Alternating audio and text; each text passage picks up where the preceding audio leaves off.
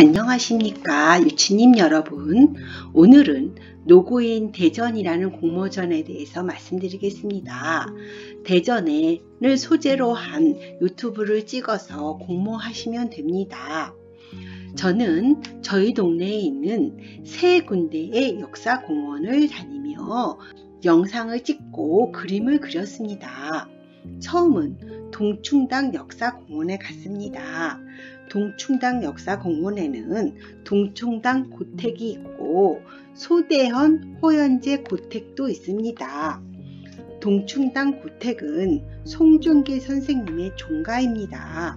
동춘이란 뜻은 살아있는 봄과 같다라는 뜻입니다. 선생님이 독서를 하면서 후진을 양성하던 곳입니다. 지금도 불천이 제세와 기타 재래들이 전승되고 있는 곳입니다. 무형문화재 국화주가 빚어지고 일반인에게 판매되고 있습니다. 이곳은 송대현 호연제 고택입니다. 이 집은 송중길의 송, 증손자이신 송경화 선생님이 입축한 고택입니다. 양반과 안채와 사랑채, 사당이 있는 양반집의 전통적인 구조를 보여주고 있습니다. 안주인이신 호연제 김씨는 한수 130수를 남긴 여류 문장가입니다. 지금도 안주인의 시를 볼 수 있습니다. 이번에는 우암사적공원으로 가보았습니다. 이 공원은 대전역에서 출발하는 시티버스로도 갈 수 있습니다. 이곳은 송시열 선생님이 학문을 닦으며 후학을 양성하던 곳입니다. 조선시대의 사원의 모습을 정확하게 재현해 놓았습니다. 덕포루의 모습입니다. 덕포루가 연못과 함께 운치 있는 풍경을 자아내고 있습니다. 배롱나무가를 감상하면서 역사 여행을 떠나보는 것도 좋을 것입니다.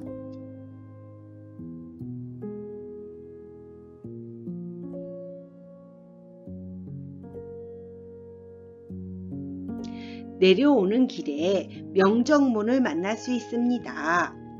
유물관도 있어 있는데 코로나로 인해서 개방하지는 않습니다. 기국정입니다. 건축미가 뛰어나다는 평가를 받고 있습니다. 남간 정사가 보이네요. 유형문화재 4호인 남간 정사에서 송시열 선생님이 학문을 정진하며 후학들을 양성했습니다. 연못의 운치가 더해져서 그림과 같은 분위기를 나타내고 있습니다. 아직도 학문에 정진하던 선비들의 모습이 눈에 그려집니다.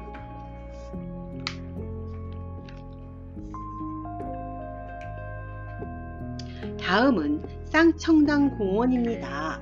쌍청당에는 송해당과 쌍청당, 은진송씨 종가가 있습니다. 송해당은 김경여 선생님의 별당입니다. 송해는 눈소리를 맞아도 변하지 않는 소나무의 높은 절개와 굳은 기상을 간직하고 싶다고 하여 선생님이 붙인 이름입니다. 선생님의 기계와 충성심을 느낄 수 있습니다.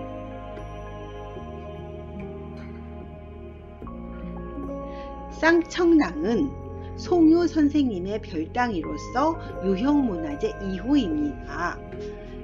선생님이 청풍과 명울의 기상을 가슴에 새긴다는 뜻으로 지은 붙인 이름입니다.